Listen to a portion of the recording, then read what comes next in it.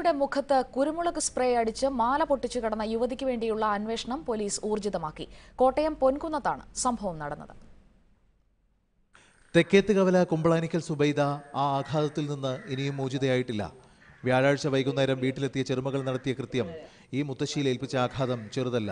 സംസാരിച്ചിരിക്കുന്നതിനിടെ ചെറുമകൾ Surumi bag തുറന്ന് എന്തോ എന്ന് എടുക്കുന്നത് സുബൈദ കണ്ടു. നിമിഷ നേരത്തിനുള്ളിൽ എല്ലാം സംഭവിച്ചു. കുരുമുളക് സ്പ്രേ ശക്തിയായി മുത്തശ്ശിയുടെ മുഖത്തേക്ക് അടിച്ച ശേഷം ഒന്നേകാൽ പവൻ തൂക്കം വരുന്ന മാല പൊട്ടിച്ചു.